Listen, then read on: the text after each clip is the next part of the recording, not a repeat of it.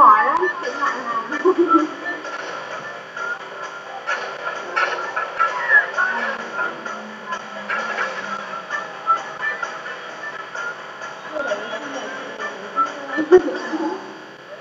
sau em hai phòng đúng hai phòng